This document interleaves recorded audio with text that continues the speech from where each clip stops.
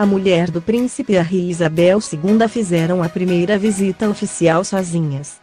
A duquesa de Sussex estava visivelmente nervosa e mostrou ainda não dominar as regras protocolares, atrapalhou-se ao entrar no carro. Meghan Markle realizou esta quinta-feira, 14 de junho, o primeiro evento oficial sozinha ao lado da rainha. Pela primeira vez, a mulher do príncipe Harry viajou com Isabel II sem a presença de outro membro da realeza. Leia ainda, Harry dá indicações a Meghan sobre o que fazer nas comemorações do aniversário da rainha. Meghan estava visivelmente nervosa e mostrou ainda não dominar por completo o protocolo. As duas viajaram de comboio, onde passaram a noite, para aquela cidade. Depois seguiram de carro até a ponte que iriam inaugurar. E foi precisamente ao entrar no veículo que Meghan se atrapalhou.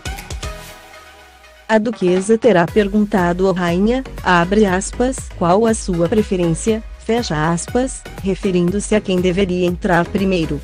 Abre aspas, vá, E, R, I, M, E, I, R, O, fecha aspas, respondeu a monarca, ao que Meghan reagiu, surpreendida, abre aspas, O, está bem, fecha aspas.